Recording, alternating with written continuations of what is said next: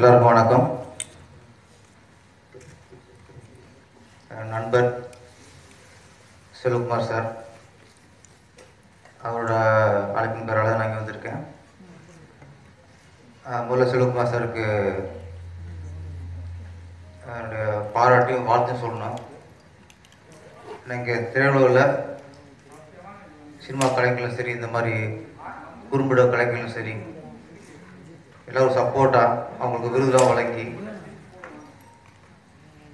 தமிழக அரசு கூட இப்போ சினிமாவுக்கு விருதுலாம் வழங்குறது இல்லை ஒரு பத்து வருஷத்துக்கு மேலே எடிசன் அவார்டுங்கிறத தொடர்ந்து வழங்கிட்டு வர்றாரு எங்களுக்கு ஒரே தமிழக அரசு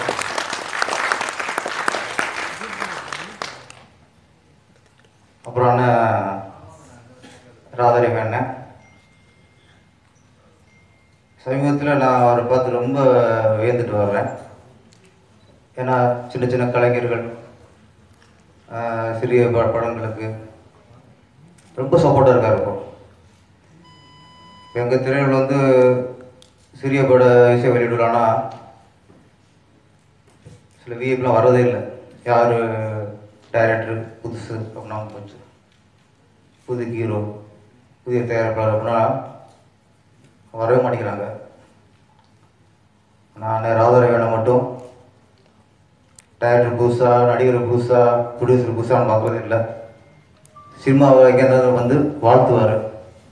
இந்த மாதிரி உள்ளங்கள் வாழ்த்தும் போதே என்ன மாதிரி கலைஞர்களும் சரி குறும்பட கலைஞர்களும் சரி கண்டிப்பாக அவங்களோட அவரோட அப்பனோட ஆசீர்வாதம் இருக்குது என்ன அண்ணன் வந்து மனசில் உள்ளதை அப்படியே பேசிடுவார். அவருக்கு என்னென்னா சினிமா நடிக்க தெரியும். அரசியல் நடிக்க தெரியாது. அது அவருக்கு பிரச்சனையே.